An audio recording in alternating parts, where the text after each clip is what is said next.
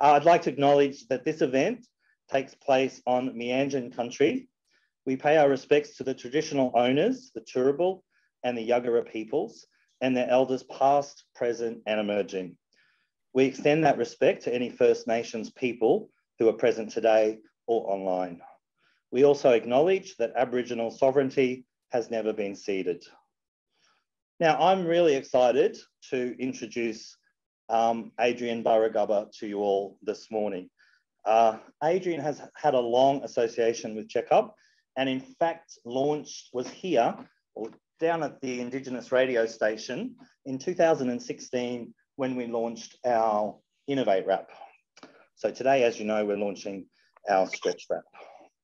Uh, Adrian is from the Babinburra clan of the Wangan and Jagalingou people of central Queensland. He was born in Brisbane and is recognised by the traditional owners as having historical connection. So Adrian, um, over to you. A, a very warm welcome from all of us here today. Thank you.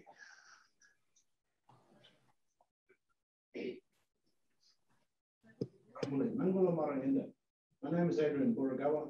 I come from central Queensland in the Galilee Basin. This is a Jagalingou country. This is the place of the emu. And uh, my grandfather, great grandfather comes from Wangan, from the uh, Claremont area. So uh, we're the original people from there. And uh, while I'm in Brisbane, I pay respects to traditional owners, custodians of this land, the uh, ancestors on whose land we stand, acknowledge their, their, uh, their elders, past and present as well. And uh, with, uh, with in our languages, we say waramuli, that's like hello, and it's uh, it's like the same.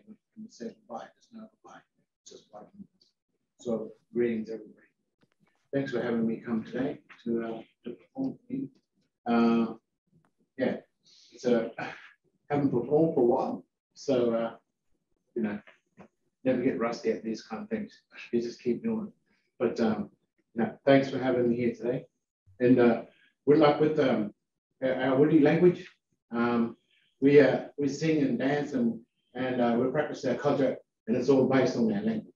So that original language we speak, like uh, it's the Murray language. You know, it's uh, from Central Queensland, it's Wiri. So um, from that, we, we derive our music, a song, and, and our dance. And so uh, it's a part of it's a part of our, our customary law that we uh, we hand down our, our culture and uh, the stories of, of our uh, totems and uh, how we are connected to the land. In that way, um, we build self-esteem and um, and respect in, in their people and the young people. So they can go forward and uh, reconnect with the land and uh, associate their, their culture with uh, their past history and uh, it's the way forward for them. So we do this on a regular basis and uh, I'm going to demonstrate uh, some, some of our culture here today. And we now play we now play the didge. It's it's, it's, it's something that uh, it's a progressive thing that we uh, it's a part of our culture now. So when when we're yeah. So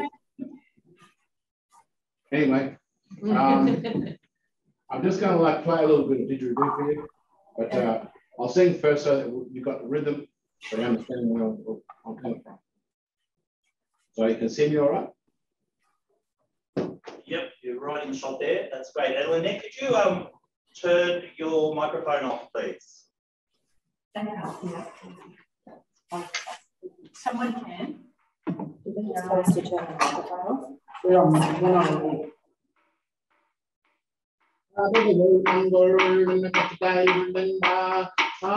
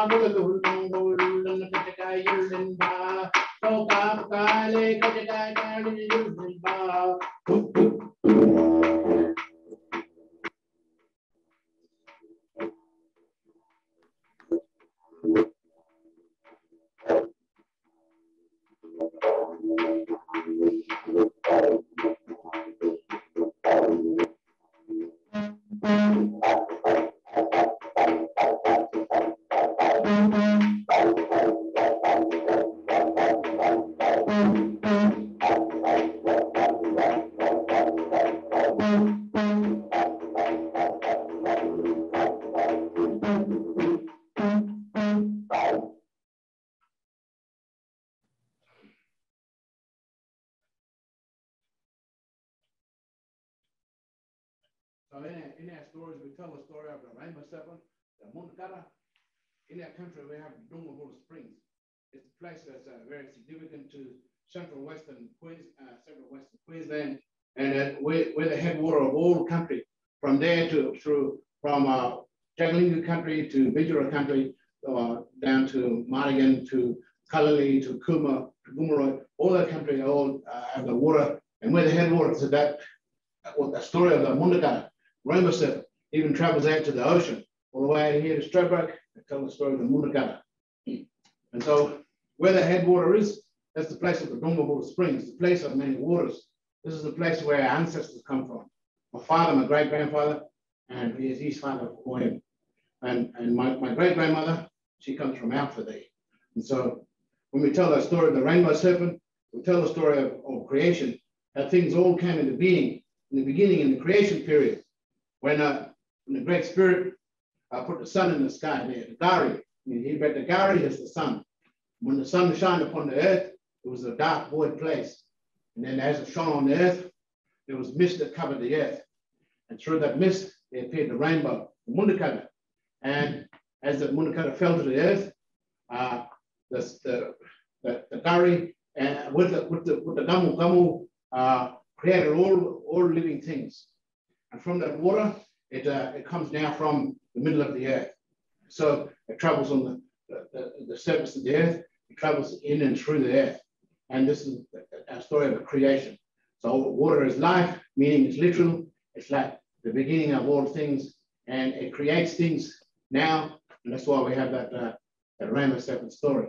And today it's relevant now to, uh, to, to everything with, uh, with, uh, with climate change and uh, with the environment that we, we maintain these stories and their songs and their dances to continue on with our dreaming and our story of our ancestor dreaming.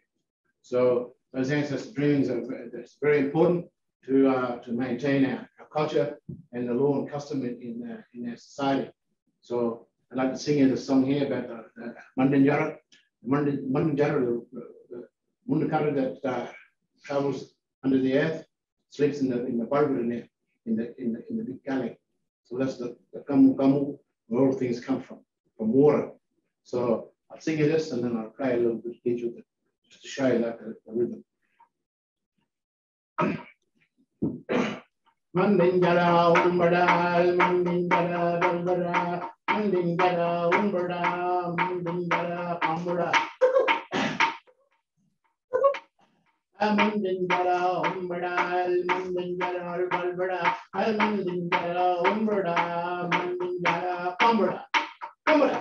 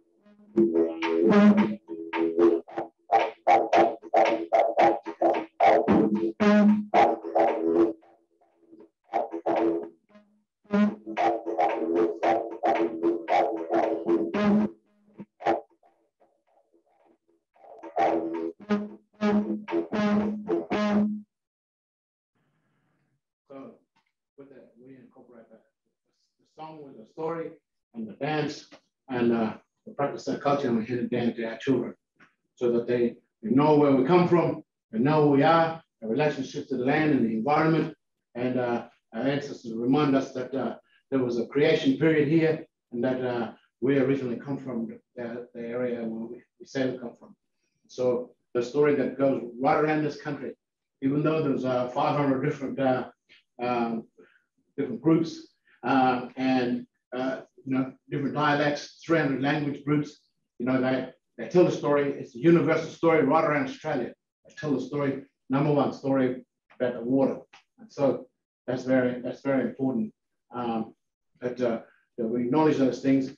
And when we speak about these things, and when we acknowledge those those people from the land, uh, whether they be Yagara or Turrbal or whatever, Wangan Jagalingou or Kupakapi or Nunaka, when we acknowledge that we we are we're continuing into the future by saying their names And by declaring that they are the original people from this land, and by acknowledging that and paying respect to that, we then become a part of that, that you know, historical event, the creation period.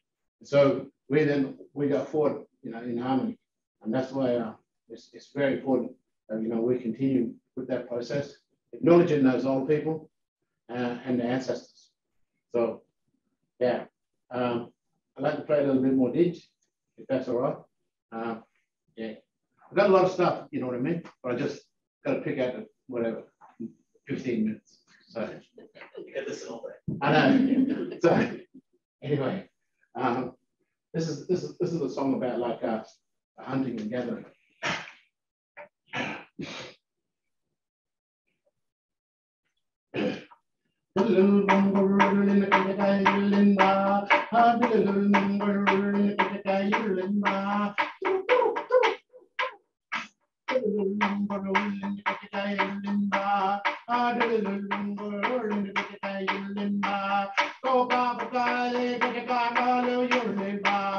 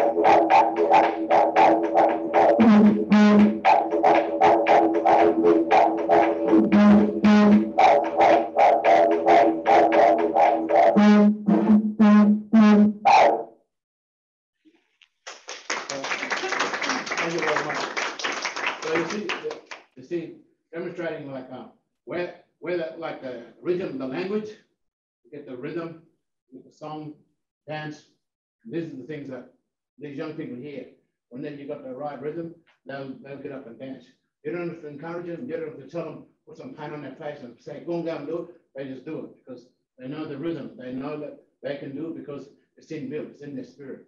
And that's that's where we're coming from. We don't, we don't have to read a book to be Aboriginal. You know what I mean? We have it in our spirit. And when we hear this, when we hear the sound and the song and the rhythm, we know we just jump in and do it. And that's how that's how we encourage our people. So, you know, our young people are, the, are our future, and uh, they're the ones that are going to carry us through. And so uh, I just uh, yeah, thank you for having me today. And uh, yeah, I can just finish with a little bit more beat, okay? If you like it.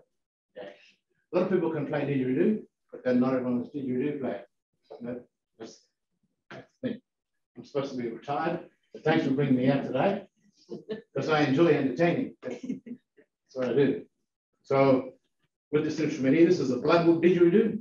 So it's, it's not very common didge, so they have ironbark, you might see a lot of ironbark, but um, you know, originally from Yirrkala, they call it Yigi, um, uh, no, they call it and it comes across to North Queensland, and it was traded down many, many years. So through that trading process. But now we have a lot of, a lot of people use it now right across the nation. So I like to just show you a little bit of this here. Like I said, it's, it's a rare didge. So um, you can make a lot of different sounds with it wasn't just a musical instrument, it's a communication tool. So, you know, a lot, a lot, of, a lot of people say Aboriginal people didn't even invent wheels. We didn't need wheels. We had music product. We used to like make our own music. We didn't have to go anywhere. You know what I mean? Sing and dance, have a good time where we are. We don't go anywhere for that. So when we play the music, you know, it's sort of um, make just not a communication tool, but you know, that's music. So I'm going to communicate the sound of a kangaroo. This is the sound we use for the kangaroo.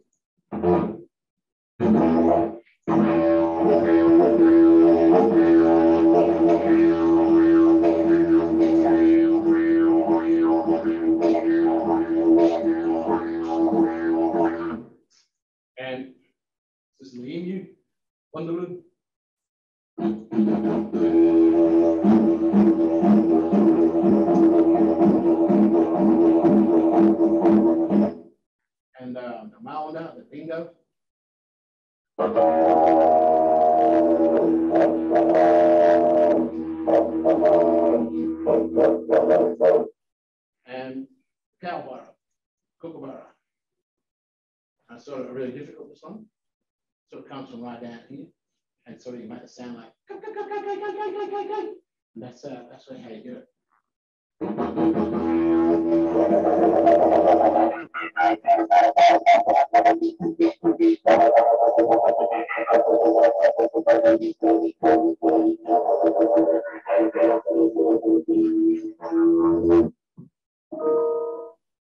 Okay, so the real difficult part is trying to play all that together. So, but you have to remember to breathe in. While you're breathing in, blowing out, you make a sound with your, with your, with your lips, and, you, and you, you're vocalizing these things. So, uh, yeah, if you don't have rhythm, you're trying to play didgeridoo, you're just making noise. So, don't try it unless you like working on rhythm. so, it's sort of just I'm just demonstrating the different sound because like a lot of people they don't explain it. They don't explain what's going on. So anyway.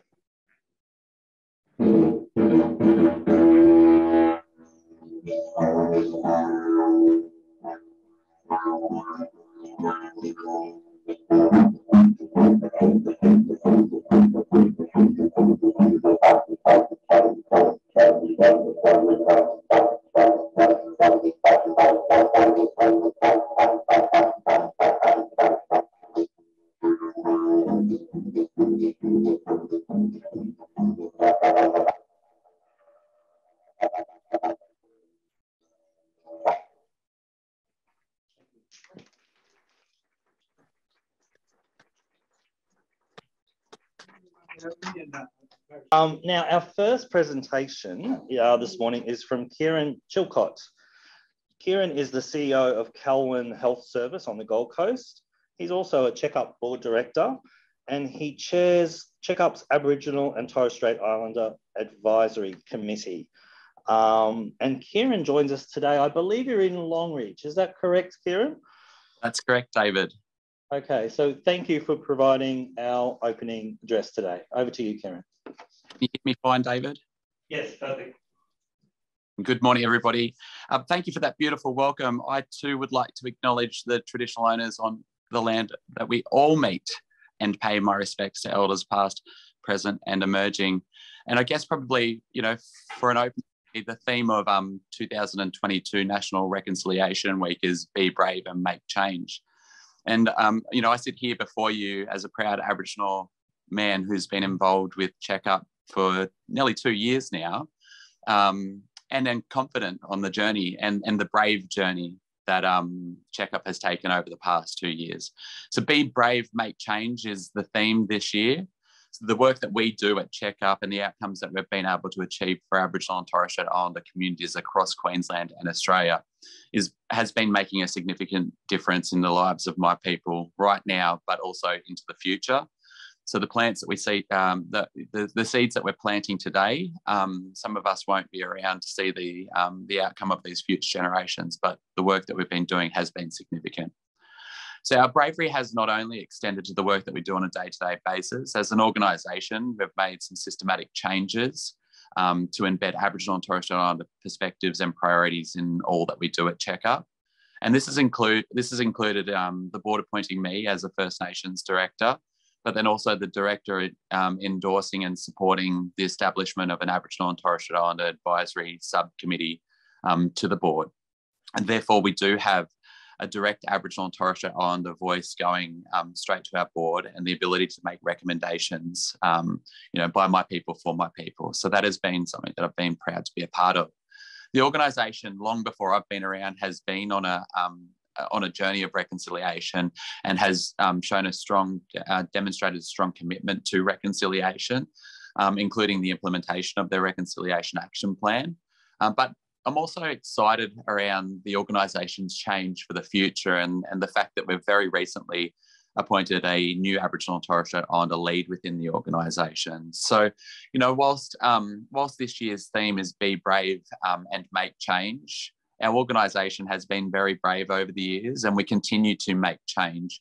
And we're not only making changes for the organisation, but we're making changes in the betterment um, of the lives of Aboriginal and Torres Strait Islander people across Queensland and Australia. So it's something that I'm really proud to be a part of and, and something that I'm thankful for because we do have quite a few uh, partners that we work with, with both um, both within the Aboriginal community controlled health sector, but then more broadly, um, you know, with mainstream health providers who have also shown that um, same level of commitment. So today I extend um, that big thank you to you all um, who are there in the room, but also our members and our supporters and, and people who embark on this journey because it is something that not, not one single person will be able to make a difference, but collective impact and the difference that we continue to make together on the lives of Aboriginal and Torres Strait Islander people and communities is something um, that I have been extremely proud to be a part of.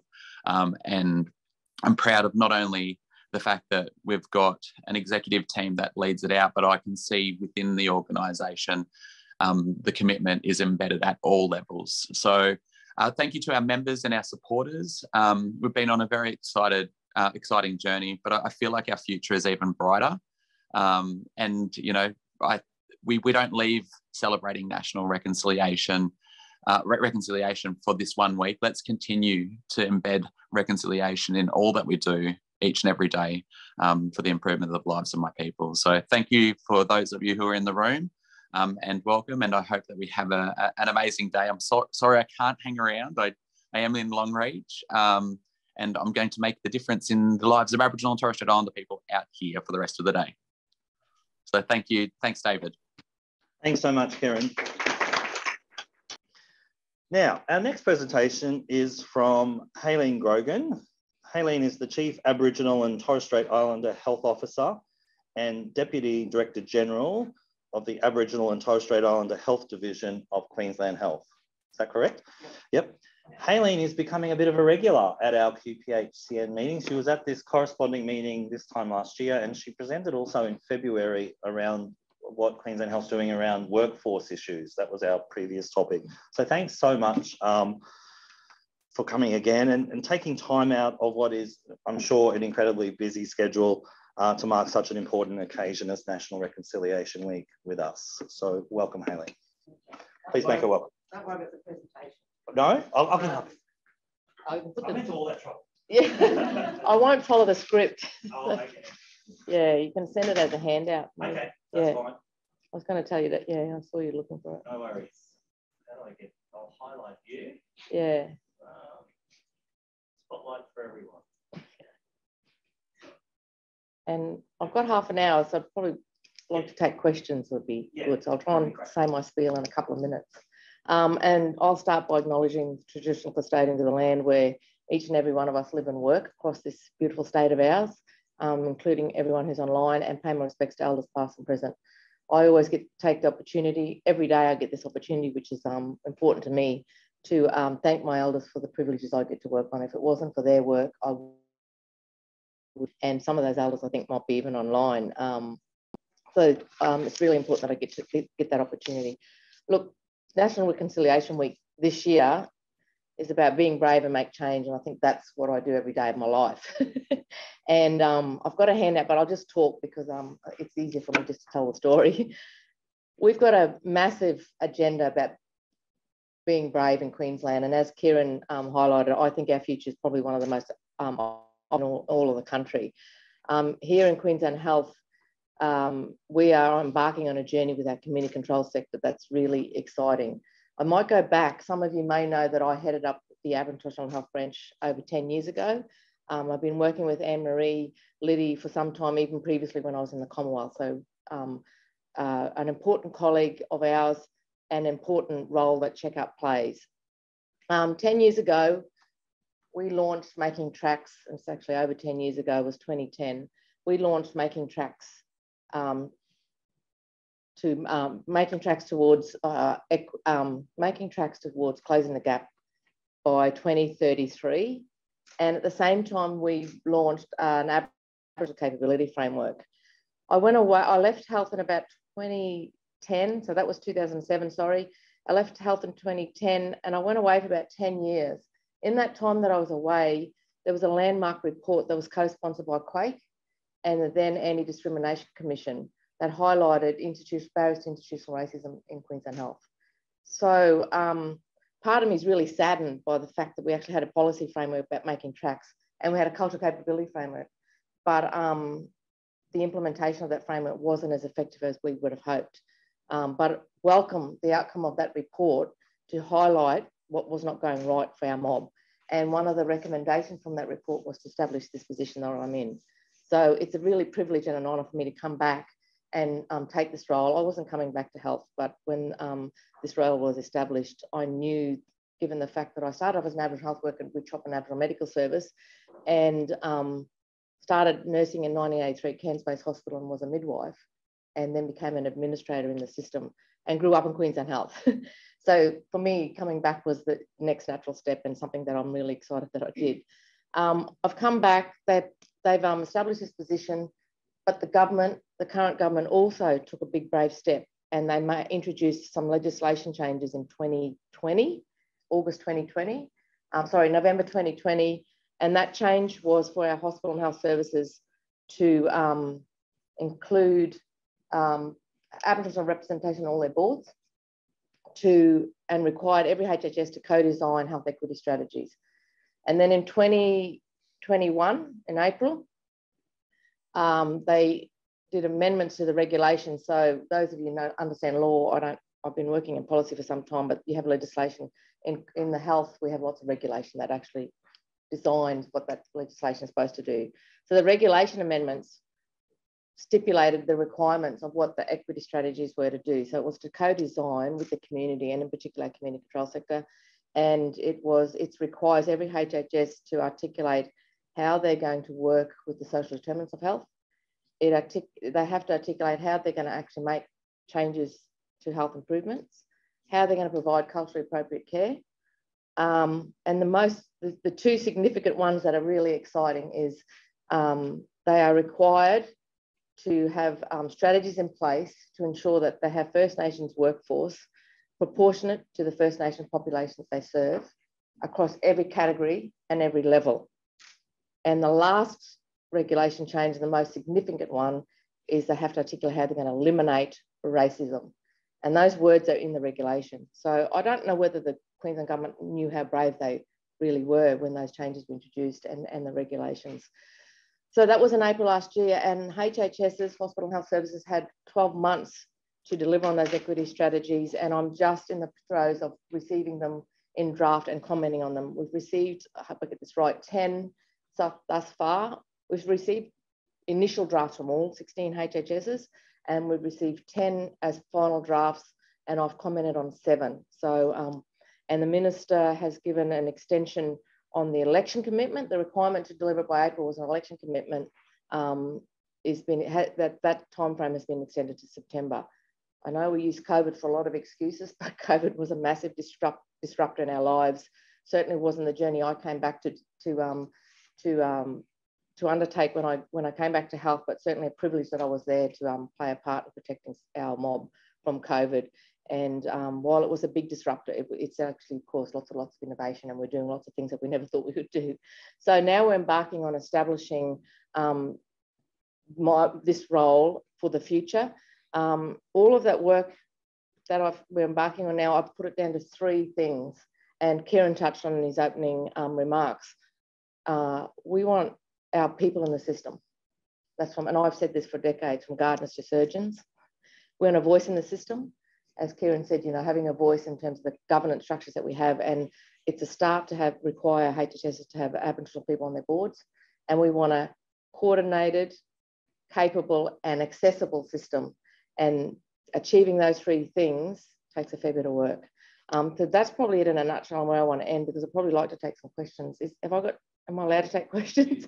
Um, uh, and yeah, just want to acknowledge the Aboriginal leadership in the community control sector it's really exciting um, journey that we're embarking on. I might just, um, and Kieran certainly is one of the leaders in that, and I think you said Mullingu's on, so I'm assuming Gail's on online, and want to acknowledge our community control sector is, is the most, and I know we're going through some challenges at the moment, but we've got the, the strongest sector with the best leaders in this country, in this state, and the other states are looking at what we're doing. The other agencies in Queensland government are looking at what we're doing and following suit. And I don't know whether you're up to speed, Anne Marie, but the Department of Health, so the Hospital and Health Service, 16 of them, um, uh, in the old days, we used to have a central office. It was a central um, centralised system. We now have a network system, and the Department of Health is currently going through some proposed changes. Um, I might put it out there in terms of what they're proposing for us, um, and we're going through staff consultation as we speak. So we were we are a division. The proposal is to um, um, put us above all the other divisions and be alongside the uh, Office of the Director General and become an Office of First Nations Health. And my position will not be as a Deputy Director General, because I've got a massive title, Chief Aboriginal Health Officer and Deputy Director General. Um, it'll be a Chief First Nations Health Officer in the Office of the Director General, but as a specific office with authority over all the other divisions and each and every one of the divisions, some gone, some new. Um, there's been a big realignment. Um, the requirement of every DDG, will, they will have accountability to deliver on First Nations health equity written in their role descriptions and their performance agreements.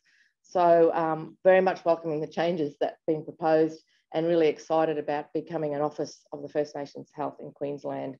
And um, yeah, I might stop there because I can talk a lot.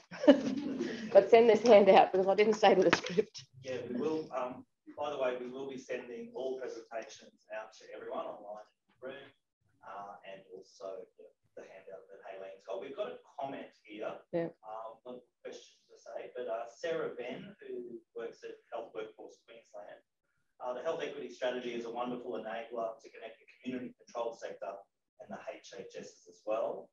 Uh, sorry, HHS as well as broader collaboration to improve cultural responsiveness for our communities and our health workers. So Yep. spot on there, Sarah. Simply said, you have blackfellas in the system, you'll get cultural capability. It's a pretty simple concept. um, and I just might just add, and I did speak to um, you in February, was it, about that workforce strategy.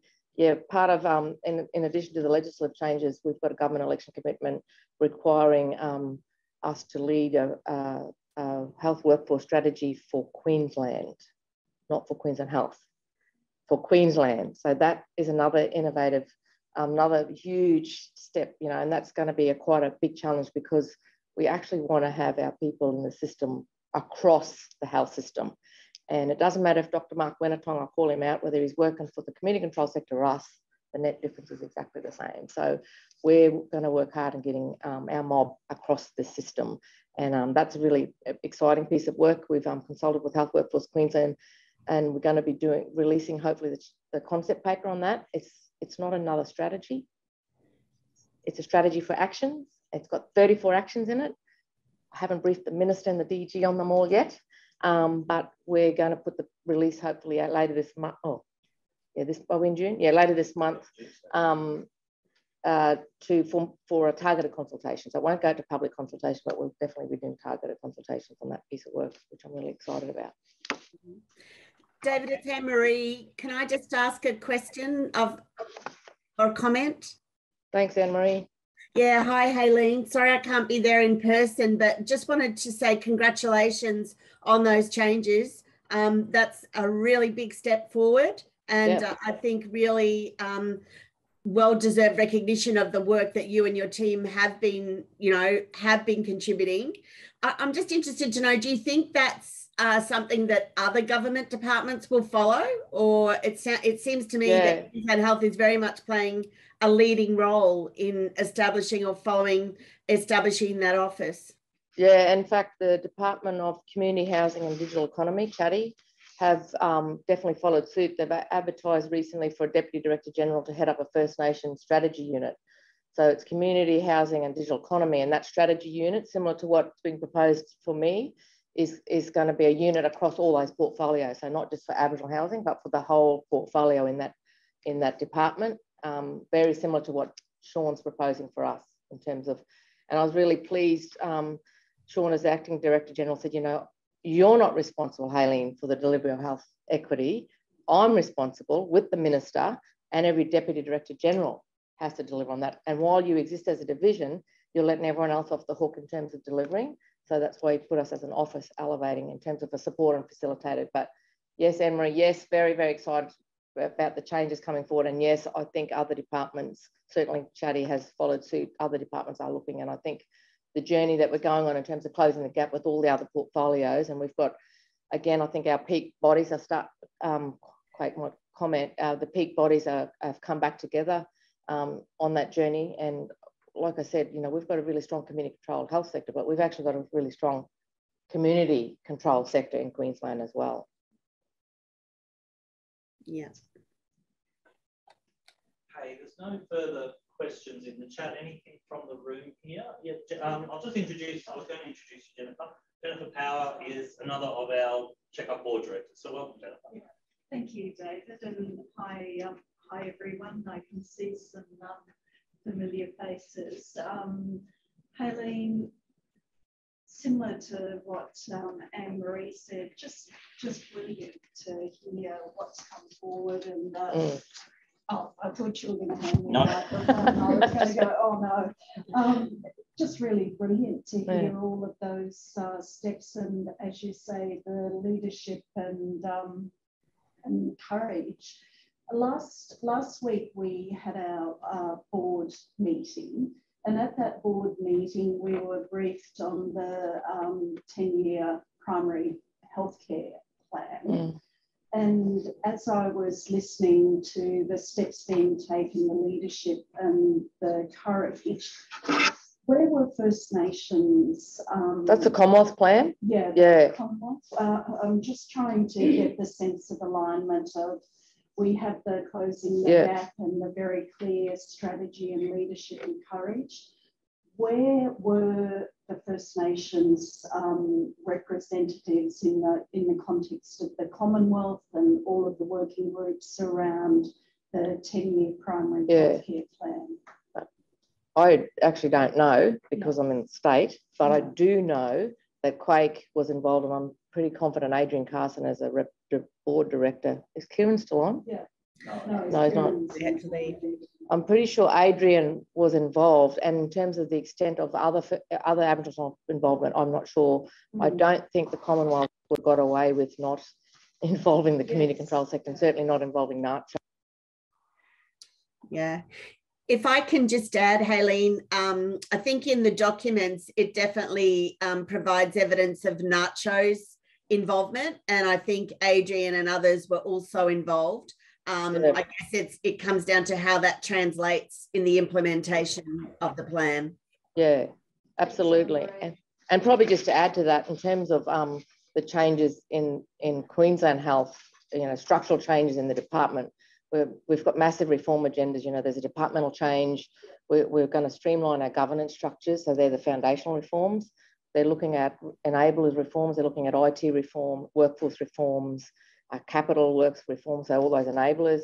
We've got a 10-year plan taking us to 2032, um, where we're going to go. And then there's um, models of care that have come out of COVID learnings, obviously, um, that massive reform. So all those reform agendas, putting them together is a massive um, foundation for the future. The one thing we're trying to get right, which has to be the intersect between this primary healthcare um, plan, is better primary healthcare to reduce the demand on the secondary healthcare hospitals. It, it's simple, but we haven't got that right. And that's the changes are about trying to ensure that we can actually um, bolster primary healthcare and and then reduce the demand on on our hospital system because um, going forward we're just not going to cope with the demand that we, we experienced even the last couple of years and are about to experience through winter with um, this flu, flu and pandemic. And um, oh, I lost my thought then. I was going to make another comment, uh, but that's that's the whole foundation of what we're trying to get right. Oh, sorry. And you think we got it right by 2022, but we haven't. Um, get the patient journey, you know, from home into hospital and back, better coordinated. We're doing a couple of pieces of work around First Nations and Cairns and um, Cairns and Torres and Cape to try, they've got it setting up a bit of a PMO, program management office, to do, to like support the patient journey from home into hospital and back. So it doesn't matter who's providing the care along that journey, but it's coordinated. It's very, we're very clinician, I'm just going to say it, we're very clinician centric. Yes. It's all about making sure the doctors, no disrespect to our doctors and nurses, it's not about, and we've got to make it about our patients. Yeah. And um, just final, uh, final question. So you hear um, clearly um, sort of also speaking on behalf of the new wrong direction. When will um, when will sort of the department start to sort of step out the transparency of you know, their intent and their. First of July. First of July. Press and go. That's what Sean's wanting to do. First of July. Staff have got, yeah, so the changes that we're uh, currently being, um, we're going through the whole union, make sure that, you know, no, no positions being um, spilled, um, no additional. We've got our budget, we've got our resources, we, we're making changes within that. Um, so, yeah, but 1st of July, press go.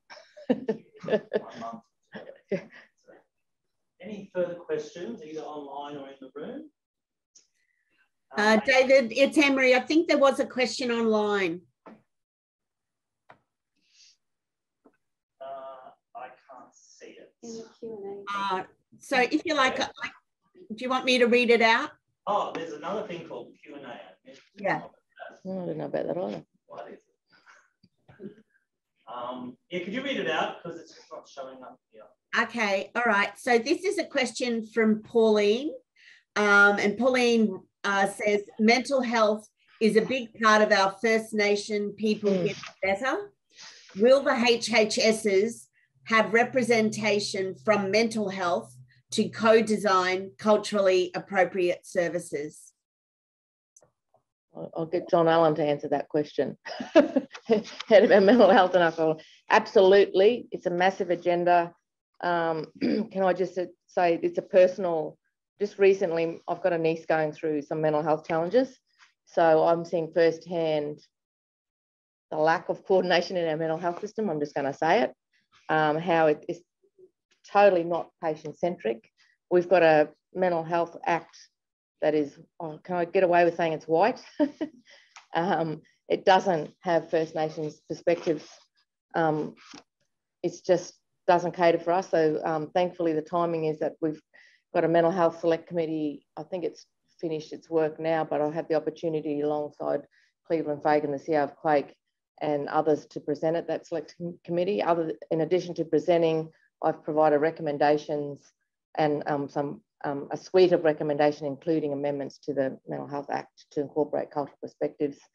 Um, I'll just talk a little bit about my, and yes is the answer. Yes, I'm going to, this is one of my new things that I'm going to be advocating for because of the personal lived experience that I've had recently. And I'm not, you know, my niece has um, probably gone through more difficult times than I have. I'm, I'm a support to her, but she gets admitted in one mental health unit on one side of the river.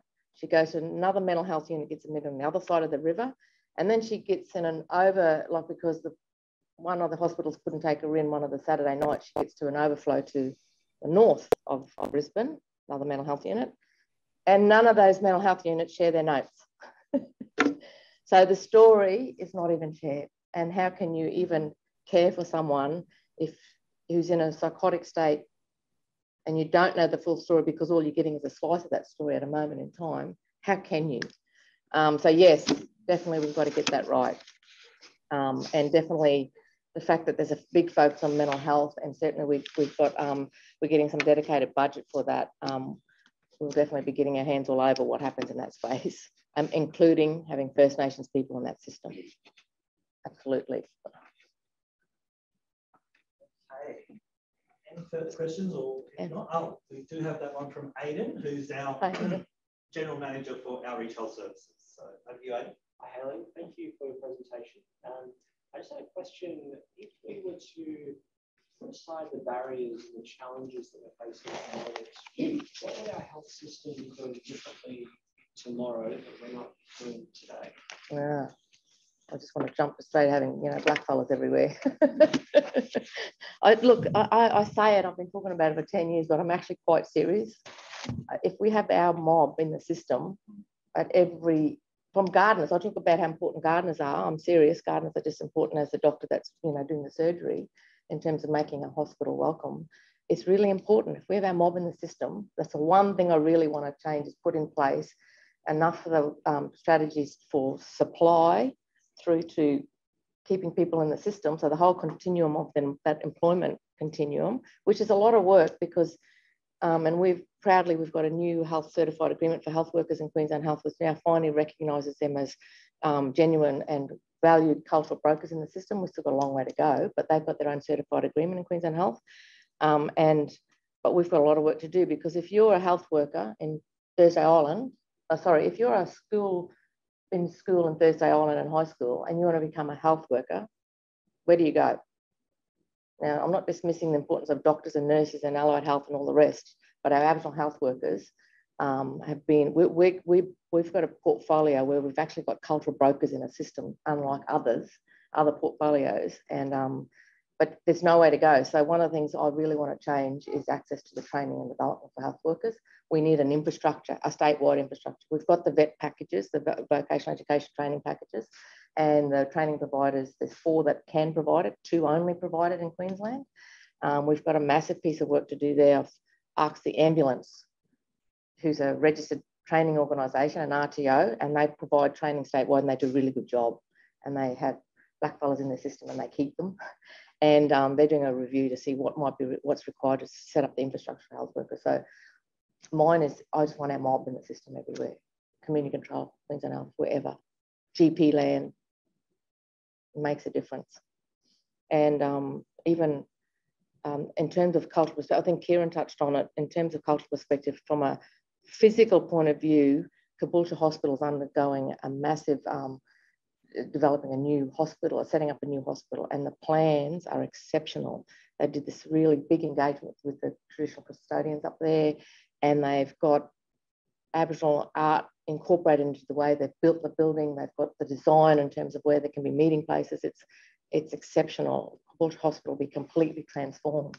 Um, it's something that's really, really exciting and um, yeah, really, really welcome. And I've answered your question, but Okay. And um, can I end with one thing? Yeah, one last comment. Yep. First Nations first. it's as simple as that, and that's what we want in all of, in terms of incorporating.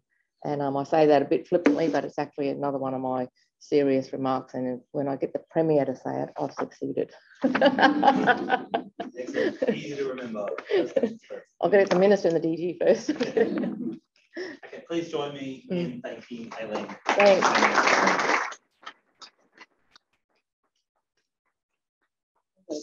Yeah, I thought you may have to go. Yeah. So again, thanks for your the generosity of your time today. Yeah. It's really thanks, appreciated. Hope you have a good day. Thanks, Anne-Marie. See you later. Okay, our next item on the agenda is um, a conversation um, between Anne-Marie Liddy, our CEO, and Lynette Anderson. And I'll get Anne-Marie um, to introduce Lynn.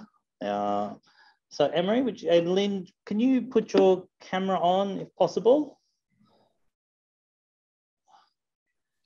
And David, while while that's happening, I might just um, say good morning to everyone and uh, acknowledge um, the beautiful welcome from Adrian Burragubba and also acknowledge the traditional owners of the land on which um, all of us are meeting today. For me, I'm in Yagara country on the north side of the of the river, um, but I also want to acknowledge um, everyone in the room, particularly our colleagues from QAIHC and others online um, from across Queensland. Um, I'm just waiting to see if Lynette perhaps wants to put your um, camera on, or at least probably turn off your mute, Lynette.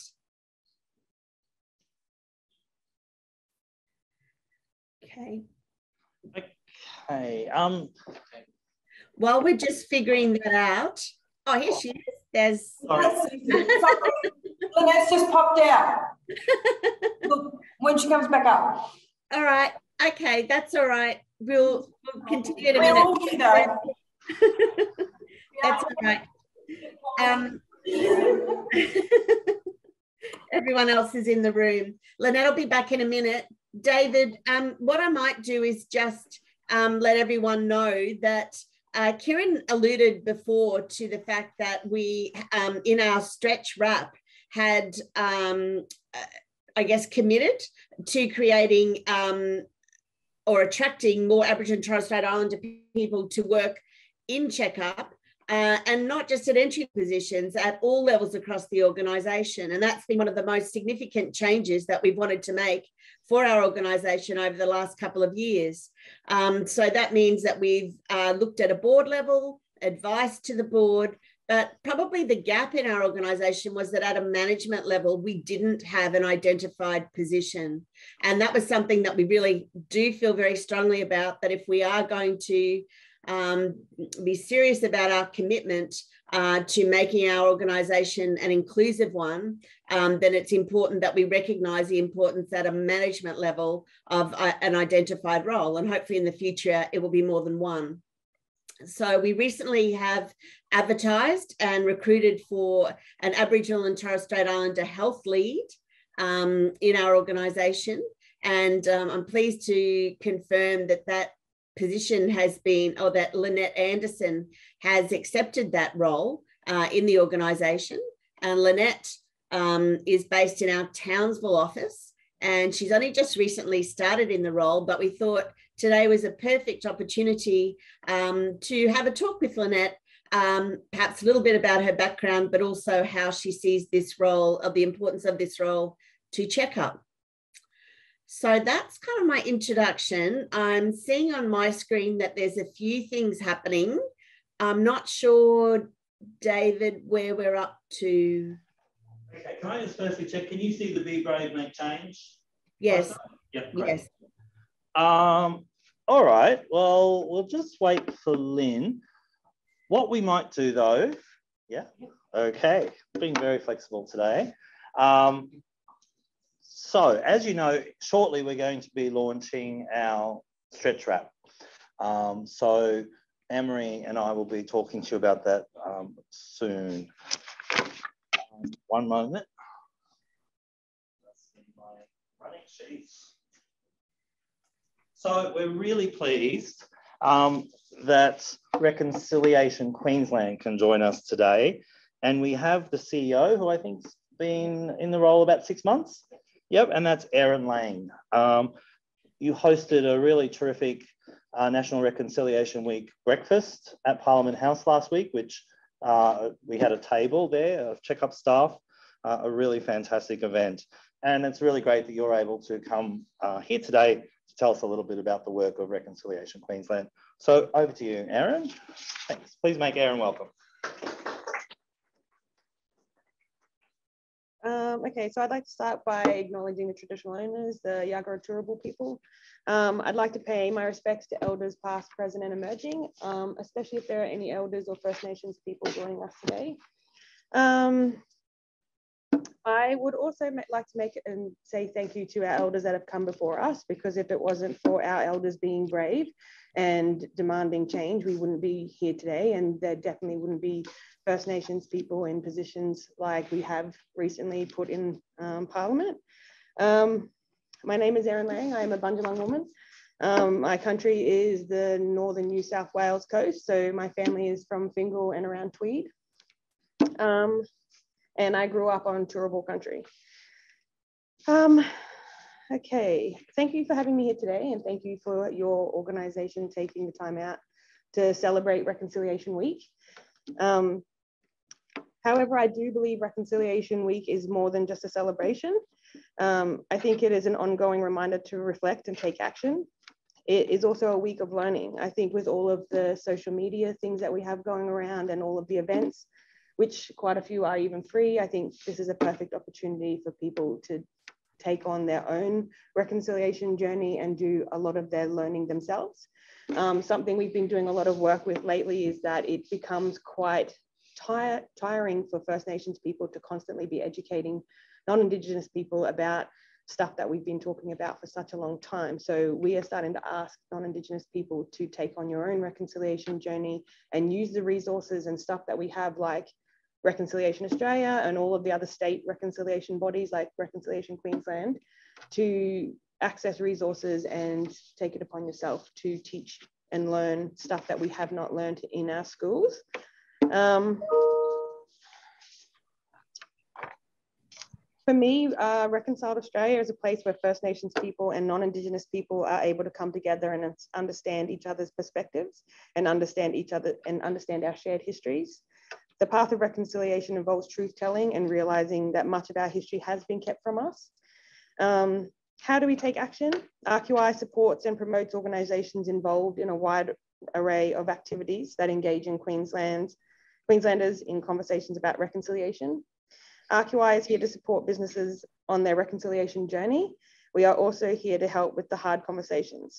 We work alongside Reconciliation Australia and the other state bodies to promote and support reconciliation and moving to and moving beyond the divide. Reconciliation Australia has identified five integral and interrelated dimensions to measure reconciliation, being race relation, equ equality and equity, institutional integrity, unity, and historical acceptance. Work is needed in each of these areas to achieve true reconciliation. These five dimensions do not exist in isolation and none, of, none can be sacrificed or forgotten in the fight for change, acceptance and unity across our nation. I believe Australia is ready for this change. I believe we saw this in the outcomes of the recent election and we read through the 2021 Statement of Reconciliation Australia report by Reconciliation Australia, it is evident that people are ready for change. In fact, the report identified that 95% of Aboriginal and Torres Strait Islander people and 91% of Australians in the general community feel our relationship is important. 93% of Australian Aboriginal Torres Strait Islander people and 89% of Australians in the general community supporting formal truth-telling processes in relation to Australia's shared history. And most of us also believe that education about our shared past is critical, with 83% of our, the general community and 91% of Aboriginal and Torres Strait Islander people agreeing that it is important for Indigenous histories and cultures to be taught in school. A true coming together would require honesty, open-mindedness, and the desire to unite. I believe that this can only be achieved if we understand each other as a whole people. By this, I mean that every individual, regardless of race, is built through their lifetime. How we are raised, how we think, how we feel, and how we see the world shapes and creates the muscles and tissues that hold memories, perspective, and ideologies. If we think of each other as whole people rather than just focus on one's occupation, race, income, or intellect, we can start to unpack and rec recognize all people share many things. A love of family, desire uh, for a better life for our kids, a desire for, to be happy, and we are much more than just a sum of historical experiences. Because of some of these past experiences, though, our people are still healing. But to be able to think about moving forward, we also need to address the wrongs that are happening today. A perfect example is the Bringing Them Home report, which was published 25 years ago. Most of the report recommendations are yet to be implemented. And members of the stolen generation and their families continue to be affected by trauma caused by forced removal. In fact, Aboriginal and Torres Strait Islander children in, our, in out-of-home care has increased since Bringing the Home report has been released. If this doesn't prove the point, look at the numbers of Indigenous deaths in custody and very recent destruction of sacred sites and understand that these new wounds will also require healing. We need to understand that while we can't change the past, we can learn from it. Keeping with this year's theme, be brave, make change, we need to be brave enough to learn our true history. And I say be brave because it isn't pretty and our whole history can be hard to hear. But we also need to be brave enough to be the change that is needed. Make change calls for us to do things differently. I believe we Australians are a proud nation in so many ways, but that is an incomplete picture. For us to be a whole nation, we need to own all of our history. In order to know where we are going, we need to know where we came from. And although we have a dark history together, by accepting each other's differences and understanding each other's understanding each other better, the general Australian population is able to learn about Aboriginal and Torres Strait Islander people and their culture, one that is the oldest continuing culture in the world. And I think that is something to be really proud of, something that all of us can be really proud of. Thank you for inviting me to speak with you here today. Congratulations on your reconciliation work that you do. Reconciliation Queensland looks forward to hearing about how well you are doing. And thank you. Leads us to the last item on our agenda, which is talking about our Stretch RAP. So Kat, if you could just, I don't think this, can I just try this?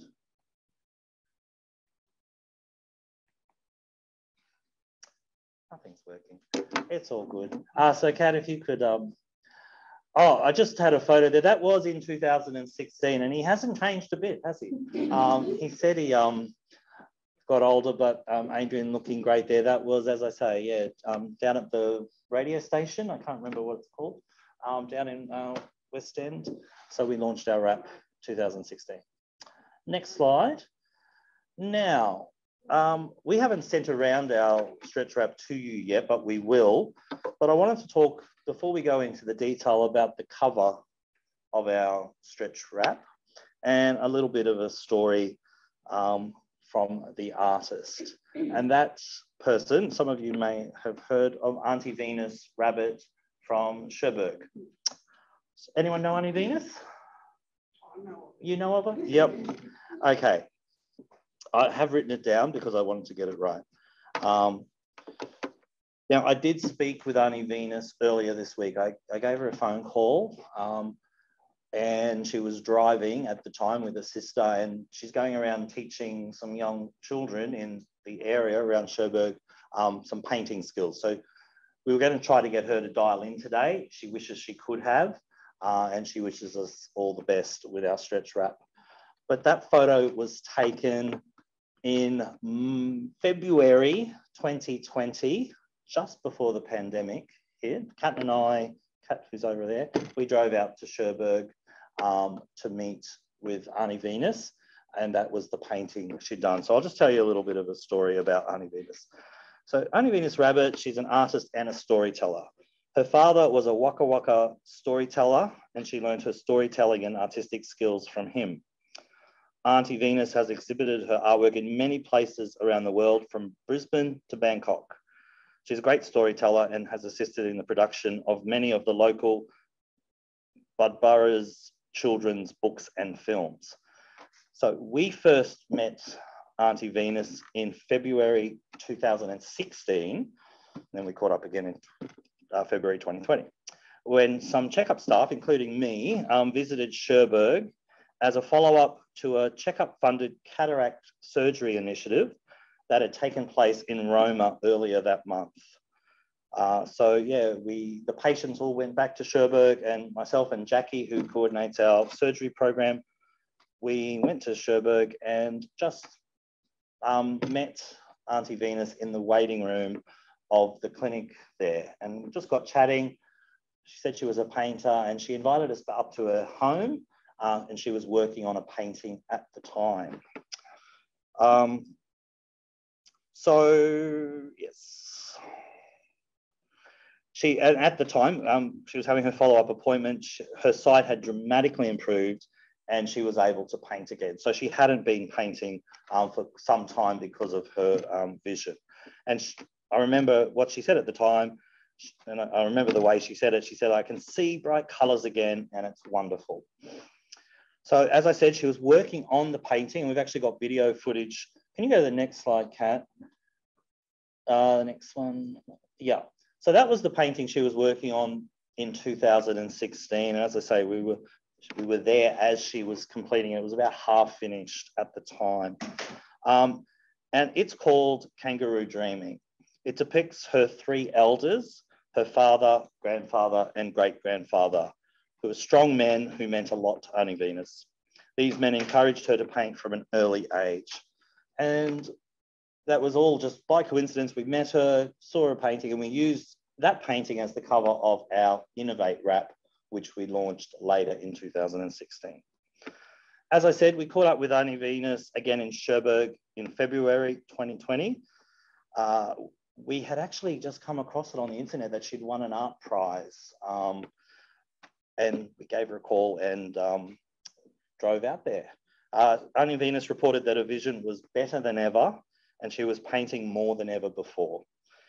She showed us a painting she had completed recently called Spring Water, uh, which you can see there and which is up in our office upstairs in our foyer, uh, which depicted her local area of Cherbourg. This painting, as I said, won first prize in the Indigenous art category at the 2019 South Burnett Open Art Competition. So we knew then and there that that painting by Auntie Venus would be the perfect cover for our stretch RAP. And there it is today. So that is the cover of our uh, stretch RAP, which is on our website. And today we are officially launching it. And Anne Marie, I, um, I'll hand over to you now. And what we, we're not going to go through, obviously, the whole document. You can have a look at it in your own time. But reconciliation action plans are constructed around four pillars of uh, respect, relationship, opportunities, and governance. So we're going to give you just a snapshot of some of the activities we have in our reconciliation action plan. So Kat, if you could do the, um, uh, yeah, oh, that's it. We did have our first RAP, As I said, that was um, the cover of the first RAP. but since then, yeah, we've used Auntie Venus's um, work. Um, okay, so the first pillar is relationships, and I'll hand over to you, Anne Marie. Thanks, thanks, David. Um, I'm my internet is just a little bit unstable, so I'm hoping that you can hear me um, and that it, will go okay. Anyway, um, if I drop out, uh, David or someone might just have to step in um, for me. So it's been a really great morning. Uh, just wanted to provide just a little bit of technical feedback, David, um, in that I think for our on online participants, the slides are not moving. So we're just seeing um, a slide view, uh, not the presentation view. So I just think we need to scroll down a little bit so we can move on to the other slides. So um, just while we see if we can um, get that addressed for our online participants. Uh, again, just to echo to say, um, as David and Kieran have both said, uh, reconciliation journey for Queensland uh, for checkup has really been going on for over 10 years. And as I, you know, I've been really privileged to be part of that journey for that whole time together um, with others on our staff and board, and also some of our really valued uh, partners and stakeholders. And I think um, the theme of this year's Aboriginal um, National Reconciliation Week of Be Brave, Make Change is probably been something that we've really had to embrace um, throughout our reconciliation journey.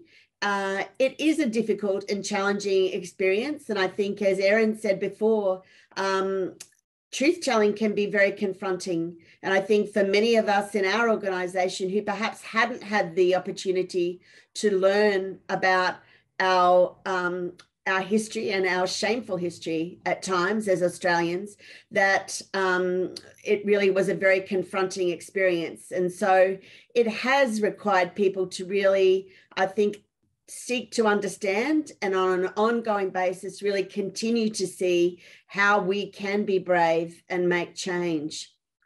So um, I wanted first to start off by acknowledging uh, the uh, the really critical role of our cultural advisor, Dr. Mary Martin.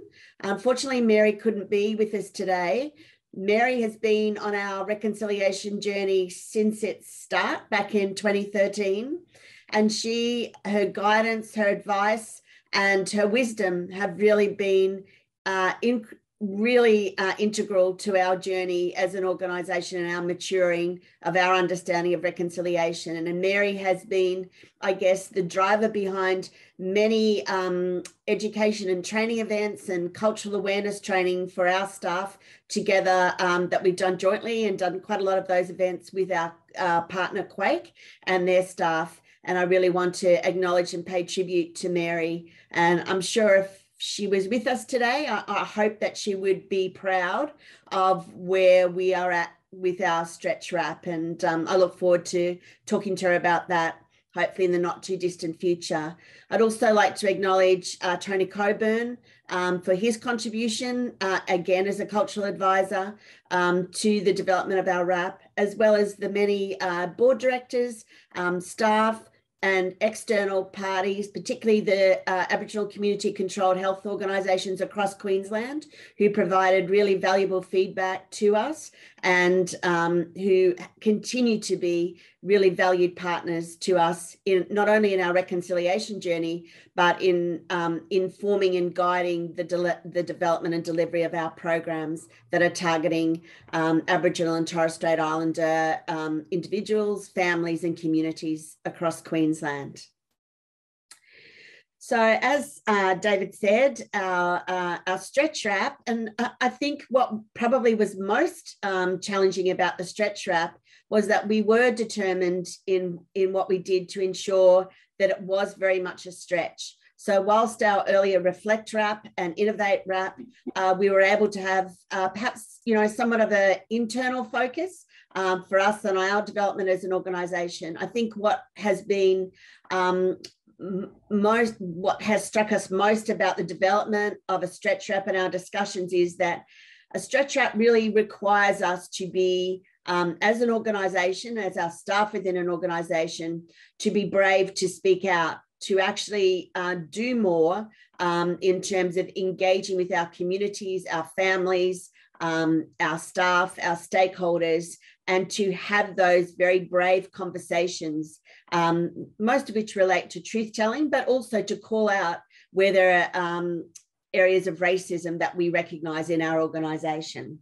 So I'll go into that in a little bit more detail. As David said, we have four um, areas in our RAP, um, four pillars. Uh, first being uh, relationships. And I'm not going to go into every detail of the deliverables and the actions. Um, I'm sure if you're interested, you'll be able to see that from our um, the RAP document that you can um, access or will provide you with a link to. But some of the most important things um, in relation to our relationships is that what we really want to do is spread the news about the importance of having a reconciliation action plan. And so we really have identified that we want to encourage and assist at least one and hopefully more of our partner organizations who perhaps haven't haven't had a RAP uh, to develop their first RAP and um, ensure they're linked to Reconciliation Australia and also to Reconciliation Queensland. So, as Erin said, um, we are really helping each other and then making use of the valuable resources that are um, available to us and have been developed by organisations such as Reconciliation Queensland. But first and foremost, recognising that it's our responsibility to take a leadership role and uh, to make that brave step of um, having a reconciliation action plan.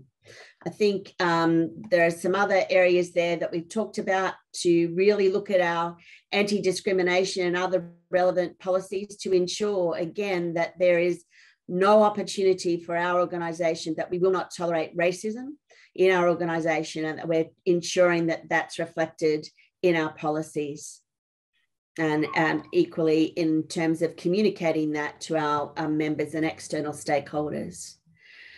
Um, as you know, or those of you who know some of the work of um, Checkup, you know that we do a lot of work in rural and remote communities across Queensland. Um, we, um, many of our staff staff visit uh, communities and meet with um, local families and um, advisors. So we really want to ensure that we are consulting appropriately with our local traditional owners and Aboriginal and Torres Strait Islander advisors and looking at developing an updated cultural learning strategy for our organisation. Um, linked to that is also um, the development of a new cultural protocol document. Um, so that will be tailored for all of the communities where we operate throughout the state and ensuring that there are valuable guides for our staff and other stakeholders that ensure that we are following the cultural protocols required of that community.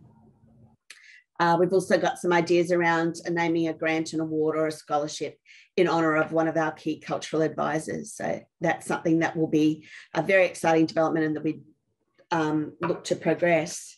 So the next area, as we've talked about before, is really looking at how we are actively making, uh, creating opportunities uh, for Aboriginal and Torres Strait Islander staff to join and work as part of our organisation.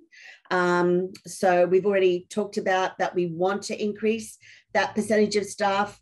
Um, we've said in our um, activities that we want to increase it to 10% of our total staff um, I actually think we'll be will be beyond 10%. Uh, we we really want to um, move to you know perhaps 10 to 15%, and I think we'll be able to meet that target. And as I said before, what we want to ensure is that we're not just talking about entry level positions. As important as those entry positions are, uh, we need to ensure that there are identified positions across all levels of our organisation, um, and that includes board, and management. Uh, uh, I think, you know, again, that we want to promote and uh, showcase um, the work that is happening at a local level, and we want to create actively create opportunities for our partners um, and Aboriginal and Torres Strait Islander health services to showcase their work and to show, as I go, I guess going back to what Haylene said um, around the strength of First Nations people doing work for together with First Nations people. So really providing opportunities, or creating opportunities to showcase some of that work and the difference that it makes. Uh, in terms of governance, which is our final pillar, that's the fourth pillar, um, we probably have already um, made some reference to um, establishing, or we have already, Kieran said that we've established an Aboriginal and Torres Strait Islander Advisory Committee, which is chaired by Kieran, and there are other members of that group that are um, listed there. Um, Sean um, previously worked for Fred Hollows Foundation and is now with the eye health unit at run by Uni of Melbourne, but Sean is actually based in the Northern Territory. So we're trying to get a diversity of views and we're looking to increase the membership of that group as time progresses. Um, I've talked already about the Aboriginal and Torres Strait Islander lead role. And we're also doing a lot of work at the moment around refining our child safety framework.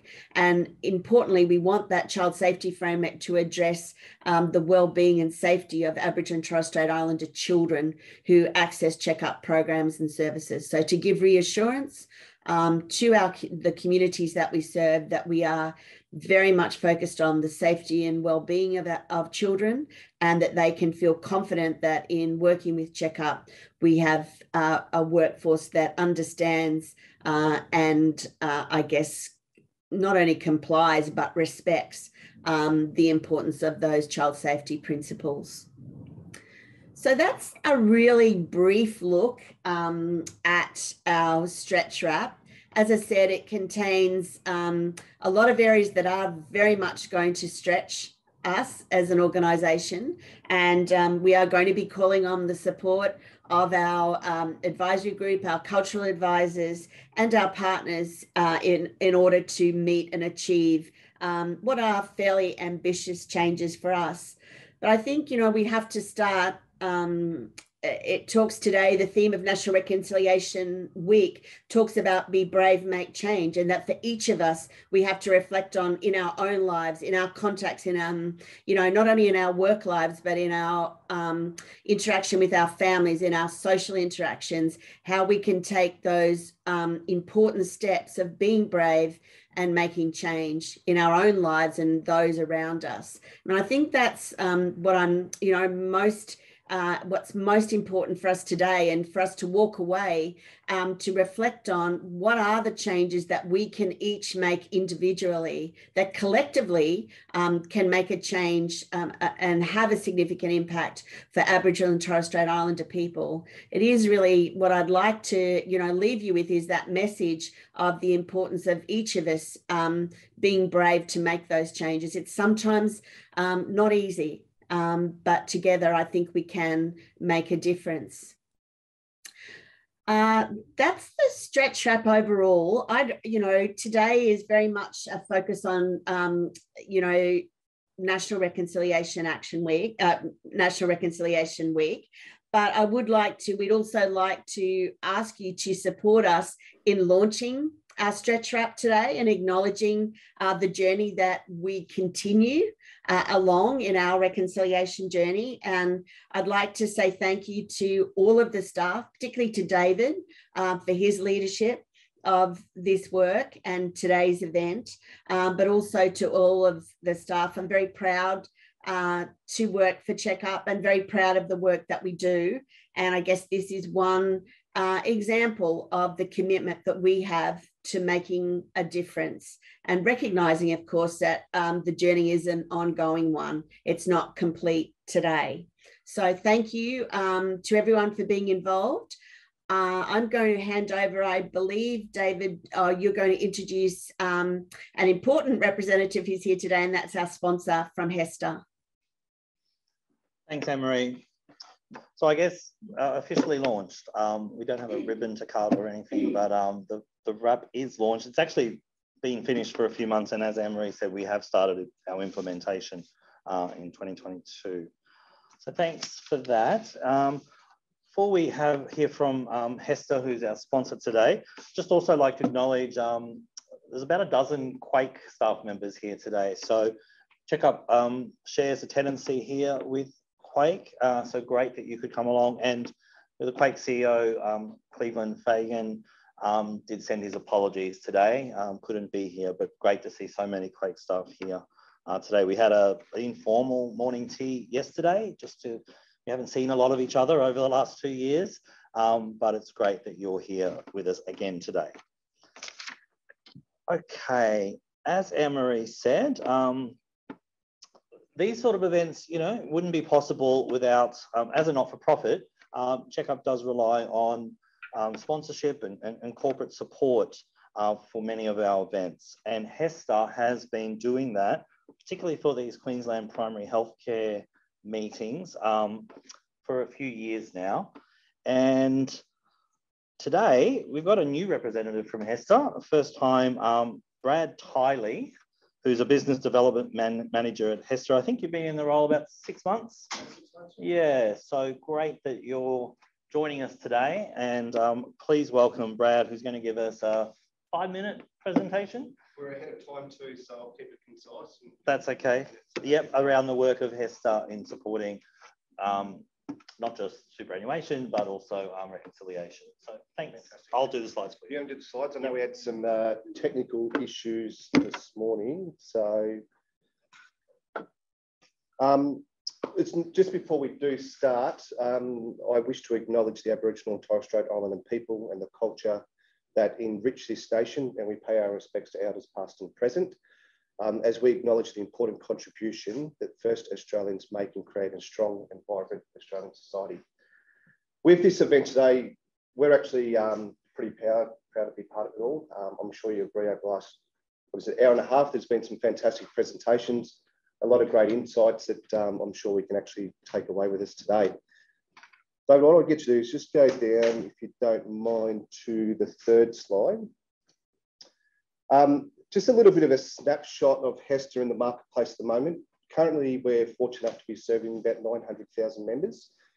We're managing close to $70 billion worth of assets. Um, but more importantly, we're probably the largest industry super fund dedicated to the health and community services sector. And with that, one of the values that we like to sort of bring to organisations is the fact that when we are looking to partner with organisations, we really want to make sure that we can empower employees and our members be able to make sound financial decisions for themselves over the long term, and therefore obviously work towards having that dignified retirement. One of the unique parts that I actually believe in and what I've sort of come across the HESTA about six months ago is when we're managing $70 billion worth of assets, HESTA actually does understand we have a responsibility. Um, and with that responsibility, we also have influence to be able to actually address real world issues that are, are, definitely front of mind.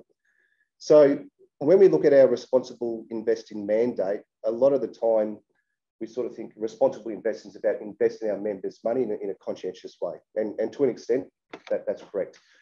We like to take it a little bit uh, a step further. And when we look into partner with organisations and as an investee, we really like to try and unpack three key, area, key areas around environmental, social, and government risks. And we think that's important because what we'd like to do with the scale that we do have is be able to have active management. And by actually having active management um, within the sector, we actually believe we can actually drive sustainable long-term growth for our members but more importantly, have an impact in relation to the communities that not only live and work in, but we're also looking to retire in as well. I guess with the active management, there was probably a little bit of a watershed moment back in May 2020 with the destruction of the cultural heritage caves in Juukan Gorge um, with Rio Tinto. And probably some of the lessons that we learned that was highlighted from that event is the fact that we actually probably need to engage further um, with the first Australian organisations working in the communities, but also leaders to be able to hear directly from them their concerns and hear how we can actually advocate better for them on, on their behalf. Um, when we look at it, our ESG footprint, we understand that it's a maturing area, um, but we honestly believe that HESTA is definitely driving and, and leaders within that field. And going forward, we want to make sure that we can get other investees to the table to be able to undertake those ESG considerations as well. Um, David, just to get you to the next slide, and then we'll go, might as well go to the next one as well. Um, our RAP, we're currently in the process of working on our third, our stretch RAP. Um, obviously, it's been built off the back of, of our first two. And I want to sort of go back to our Reflect RAP because it was all about celebrating the fantastic work that the nurses and midwives do within the community. I think uh, a lot of that work definitely goes unnoticed. And I'm sure we'll agree that nurses and midwives that work in the sector at the moment, they do a fantastic job. They really do touch the lives of so many. But so often, the fantastic work that's been done out in regional areas goes unnoticed. Um, and we'd like to try and build further awareness, awareness around that. Um, and we also understand that a lot of the members that we actually are partnering with at the moment, they're doing some fantastic work to be able to change or close that health gap. And more importantly, be able to empower other generations that are coming through and, and pave the way for, for them to make their, their career or start their journey. Just lastly, I'm going to finish up on, whilst we are a workplace super fund, we're very big on that awareness piece. Um, some of the things that we do do that a lot of people may or may not be aware of is the sector awards. Um, and it's our way of giving back a little bit and providing the ability to have a platform to build further awareness around the great work that certain organisations are doing. We're currently in the, uh, what is it, the Early Education and Education Care Awards. And more recently, we just had the HESTA Australian Nursing Midwifery Awards. Um, so I'll just, just go to that last slide. With these awards, we definitely want to be talking to organisations in relation to partnering, putting some nominations together. We understand that to be nominated can go a long way and be able to build culture within organisations. But more importantly, if this is something you can actually look to leverage off, we definitely like to um, extend the olive branch and, and to help in, in, in, that respect. Just to finish up today, I'll just get to, sorry, go back up to one. That's a, not the best photo of me, don't worry about that. Um, I want to go back. So Tracy Stevens took out the HESTA Midwife of the Year Award back in 2019. Um, the reason why I wanted to focus on that, especially for today's event, is I believe her statement sort of sums up the importance the awards can play. And I do apologise, I'm going to read this um, but she mentioned that I know that seeing Aboriginal nurses and midwives change the perception of what Aboriginal people can be and do. We are role models in the community and we can be leaders for change if we are supported and empowered to be. I think self-determination is about Aboriginal people being able to choose where they go, whether it's Aboriginal organisations or mainstream hospitals, and they should be able to choose how and where they get the best care for themselves. I'm going to leave it on that note today. Um, once again, really do appreciate being part of today's event. I've definitely been able to walk away with some insights. And if there's anything you'd like to discuss further, please, yeah, I'll be hanging around a little bit after the event today. Thank you. Thanks, Brad.